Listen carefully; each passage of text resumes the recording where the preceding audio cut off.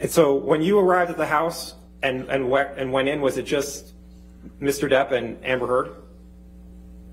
Just Mr. Depp and Amber Heard. Okay.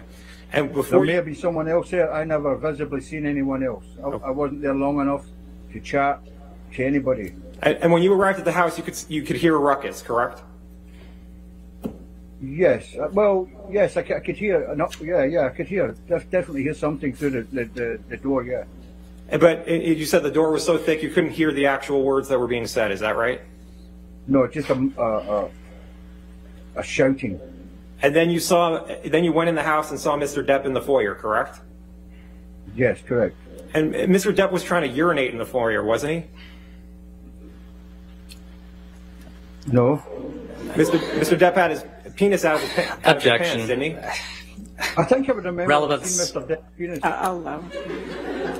Next question. And you were trying to get Mr. Depp out of the house, correct?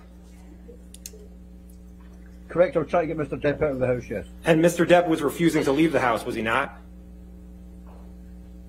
Not so much refused. He just wanted two minutes to say his piece.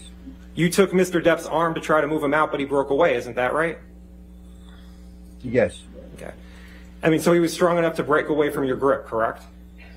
No. So you had his arm and he broke away, though, correct? No. Isn't that what you just said? No. I let him go. You let go. But it wasn't easy. boss. It wasn't I'm easy. going to drag him by it. So Mr. Depp's your boss. You'll do what Mr. Depp wants, correct?